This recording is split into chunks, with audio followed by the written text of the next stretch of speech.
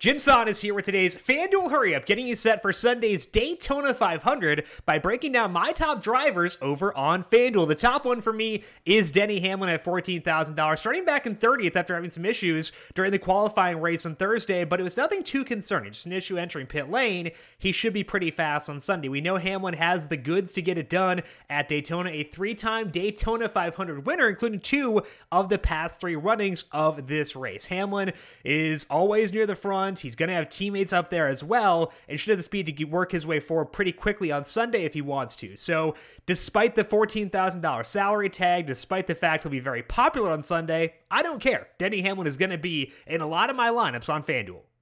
Another guy starting deep in the pack after issues on Thursday night is Aric Almirola, starting back in 38th. He is $8,500 on FanDuel. Al- Almirola, another guy who has won previously in Daytona, doing so in the July race back in 2014. We've also seen him compete when the stakes are high in the Daytona 500. He was actually leading on the final lap a couple years ago. He got wrecked, but Almirola is a guy who knows how to run these super speedways. He has got it done before. He's won twice on these super speedways, including one over in Talladega, starting back in 38. So, like Hamlin, he has a lot of place differential upside and the ability to finish well in this race, too. Almirola, to me, is a cash game lock and someone I want to be aggressive with in tournaments as well.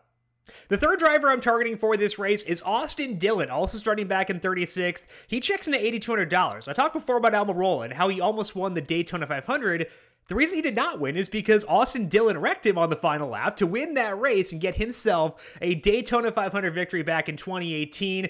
Dillon, again, has proven he can get the job done on this track type starting back in 36 and has been good enough during speed weeks. I'm not too concerned the fact that he is in a Chevrolet while Almirola is in a Ford. So to me, I think for cash games, it's pretty easy. Start things off with Hamlin, Almirola, Dillon, and then go from there. And honestly, I think all three are worthy plays for tournaments too, despite the fact they will be very, very popular. Dillon is a guy who also has a lot of teammates in this field, whether it be his actual teammate in Tyler Reddick, other Chevys, or other cars aligned with Richard Childress Racing. So to me, Dillon back in 36, the guy we know can get the job done. He's done it here recently.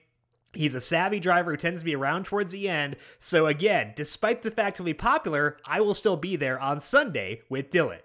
That's all we got here for today on the FanDuel Hurry Up for the Great American Race coming up on Sunday. Get those lineups in and have some fun and enjoy our first full NASCAR slate of the year.